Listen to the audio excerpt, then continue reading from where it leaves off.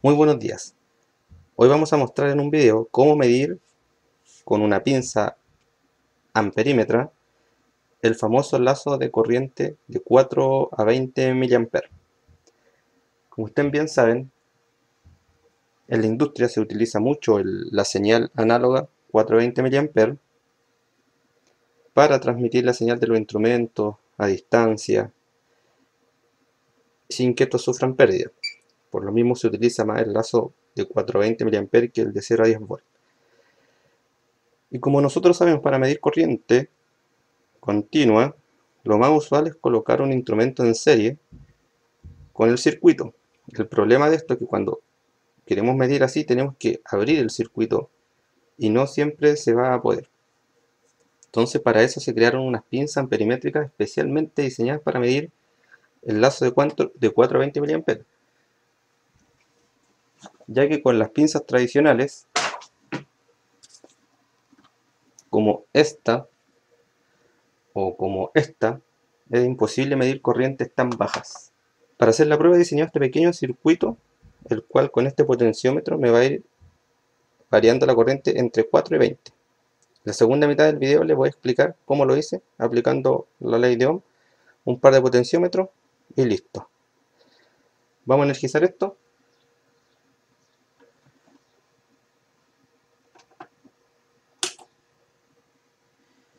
me marca 10 mA en la posición todo hacia la izquierda tengo 20 mA y todo hacia la derecha tengo 4 mA quizás lo hubiera hecho mejor al lado contrario pero eso no es muy relevante. Ahí se, se aprecia cómo voy jugando con la corriente. 24 24 entonces con este multímetro, que es un Fluke 289, uno de gama alta, estamos midiendo la corriente en serie, como usualmente lo, hacemos, pero en la industria a veces no podemos permitirnos el lujo de abrir el circuito para medir, sino que tenemos que medir en los mismos cables. Y para eso se inventaron las pinzas para proceso. Y en el mercado existen diferentes marcas, pero hoy vamos a mostrar dos. Primero esta Fluke, o Fluke, a303004 FC 420 mA corriente DC se le pone el accesorio.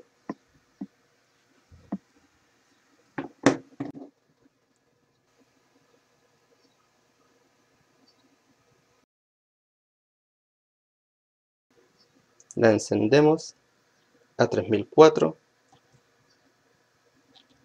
luz de fondo Súper importante en las pinzas cuando se quiere medir corriente continua es llevarla a cero. Acá tiene un, botón especial para llevar a cero. En este caso me está marcando menos 0,06 mA. La voy a llevar a cero, que esté cerrada. Y vamos a medir en este punto, donde entra el multímetro. También otra cosa súper importante, cuando yo quiero medir corriente continua, con una pinza traen una flecha.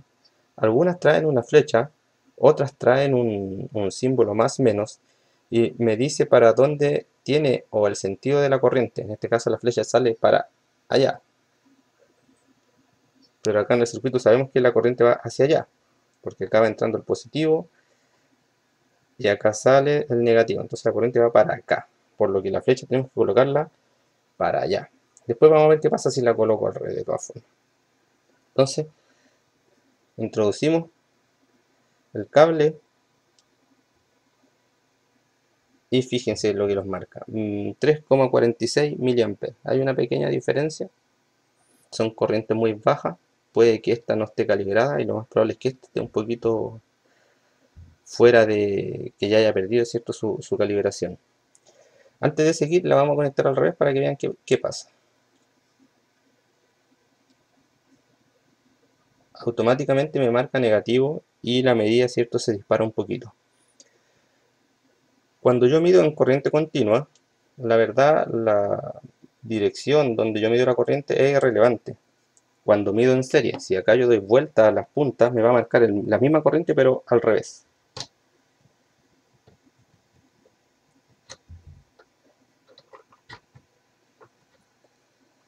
¿se fijan? Sin embargo, cuando mido con pinzas sí es relevante seguir bien la ubicación porque como es corriente continua, ¿cierto? Es más, un poquito más complicado hacer la medición, entonces tenemos que respetar la flechita o el símbolo. En este caso, como la corriente habíamos dicho que va para allá, lo colocamos en el sentido de la flecha, llevamos a cero el instrumento de nuevo, realizamos nuevamente la medición y 3,45 mA. Hay una pequeña diferencia, después vamos a revisar por qué. Y variamos la corriente hasta los 20. 19,47. Tenemos un error de 0,5 mA. Corriente muy baja. Vamos a ir a la mitad, que es 12 mA.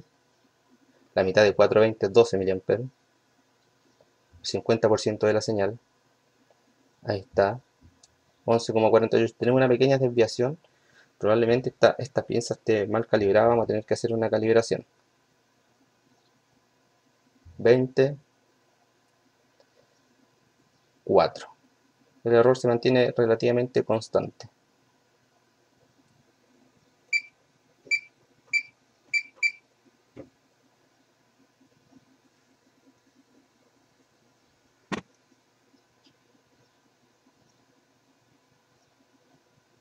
Valores importantes, 16 mA, 75% de la señal,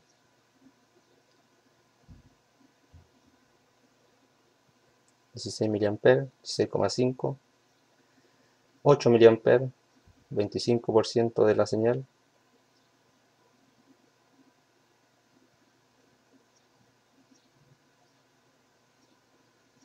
Ahí está. Ahora, ¿cómo saber si está fuera de rango este o este? La verdad, la única forma es comparándolo con otro multímetro, pero afortunadamente tenemos otro multímetro otra pinza de proceso, también Fluke, pero una versión mejorada. Entonces ya revisamos estas que funcionan, tenemos una desviación que no creo que sea por error del instrumento, sino que debe estar descalibrado porque el, error se mantiene constante en toda la escala. Vamos a sacar esta.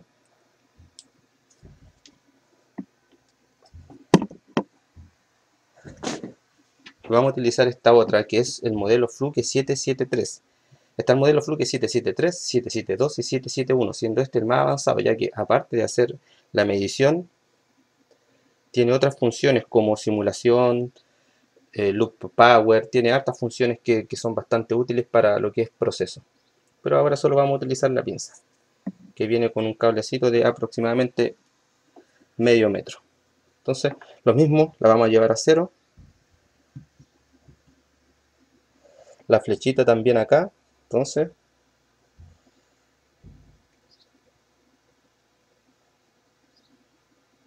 $7,98, mucho más cerca que la otra.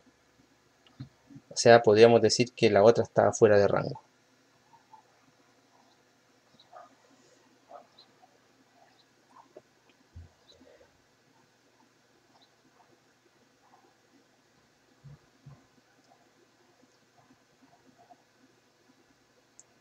20 mA. También tenemos una pequeña diferencia.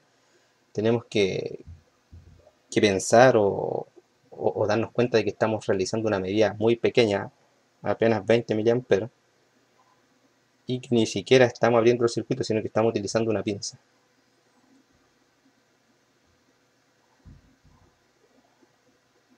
Podemos ver que la reacción no es muy rápida, pero se, se estabiliza y se mantiene constante. Acá tenemos una diferencia de 0.08 mA, bastante poco. Veamos la mitad de la escala, que serían 12 mA.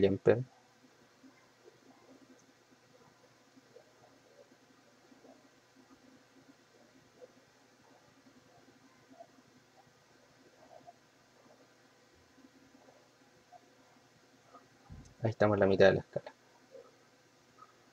Bueno, este potenciómetro económico es bastante difícil regularlo. No es multivuelta.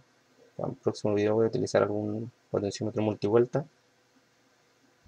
Pero se aprecia que cómo responde o cómo lee la pinza, la verdad es una referencia bastante buena para no tener que abrir el circuito.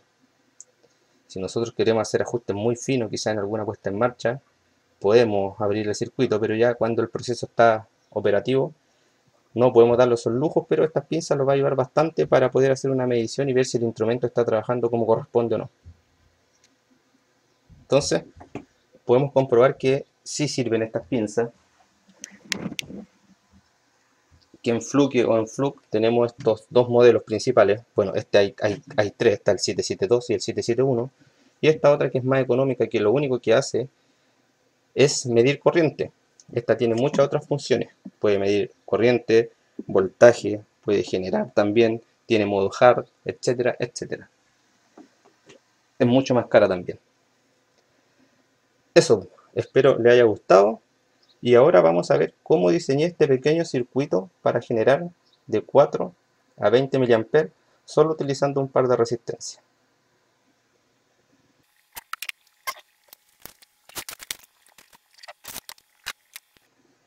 ¿Cómo diseñamos este circuito? Primero la ley de Ohm, que dice que voltaje I por R. cerramos en el típico triangulito. Y yo quiero buscar la resistencia para ciertos valores de corriente y voltaje conocidos.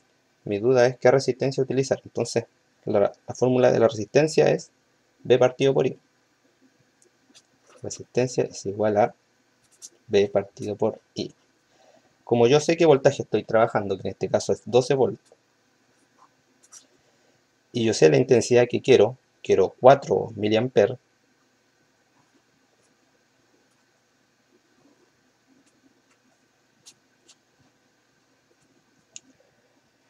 recordar que 4 miliamper es igual a 0,004 amper. Entonces resolvemos esto en la calculadora. 12 dividido por 0,004 y me da una resistencia de 3000 ohm. Para 4 miliamper necesito una resistencia de 3000 ohm o 3 kilo ohm. Listo, ya tenemos nuestro primero nuestro primer valor. Para la segunda resistencia, que es una de 20 mA, tenemos que hacer lo mismo. Resistencia es igual voltaje partido por intensidad. El voltaje sigue siendo el mismo, 12 volts, pero la corriente esta vez será 0,02 amperes. ¿Por qué? Porque 20 mA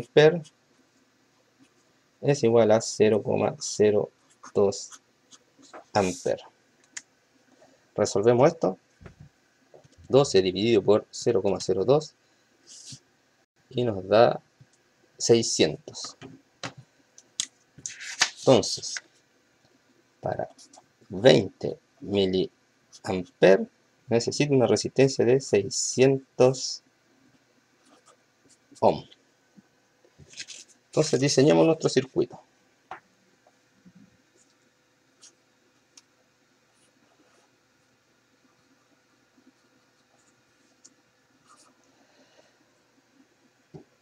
La resistencia menor es la de 600 ohm. En este caso vamos a dejar esta, la de 600 ohm.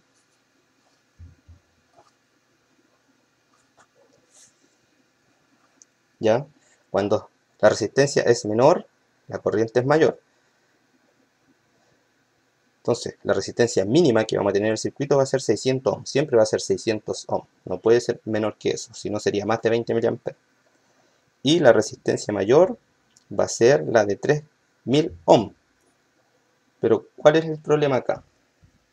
Nosotros ya tenemos 600 y tenemos que llegar a 3000 por lo que acá solo tenemos que colocar una resistencia que sea de la diferencia. Es decir, 2400 ohm.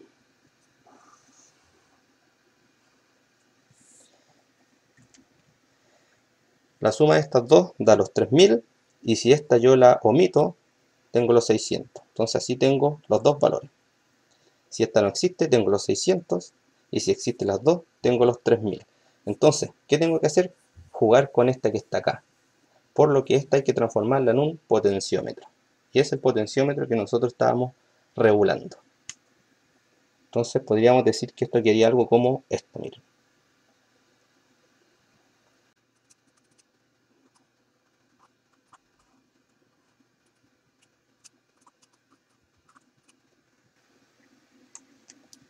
Esta resistencia se tiene que transformar o se tiene que utilizar como potenciómetro de modo regular de 0 a 100, que sería de 0 ohm a 2400 ohm.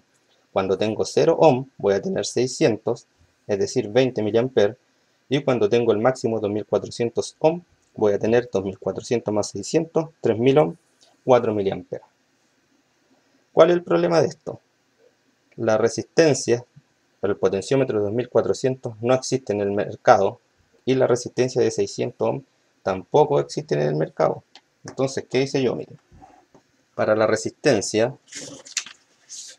de 600 ohm he utilizado un potenciómetro multivuelta y lo he seteado en 600 ohm y para el potenciómetro de 2400 he utilizado uno que está acá que es de 2 de 5 kilos y le puse una resistencia en paralelo para poder llevarla al valor deseado.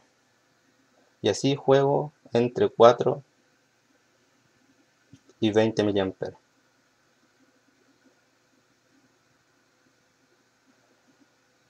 Para los que no entiendan bien este arreglo que está aquí, le pido estudiar trucos de potenciómetro, cómo transformar el valor de un potenciómetro de un valor a otro, y la verdad, así van a aprender bastante. Espero yo preparar pronto un video en enseñarle cómo cambiar el valor de un potenciómetro de un valor a otro, ya que muchas veces necesitamos valores especiales que no existen en el mercado, por ende nosotros vamos a tener que adaptarlo, como el caso de esta resistencia de, 200, de 1400 ohm o 2,4 kilos, valor que no existe como potenciómetro. Ahora, todo este circuito está hecho pensando en 12 volts. Si usted quiere trabajar en 24 volts o en lo que usted desee, tiene que hacer nuevamente el cálculo ya que estos valores de resistencia que están acá les van a cambiar. Bueno, espero les haya gustado el video, espero hayan aprendido un poquito de teoría y también cómo las pinzas perimétricas para proceso sirven y son una excelente referencia para no tener que abrir el circuito y detener el proceso. Los vemos pronto con un nuevo video.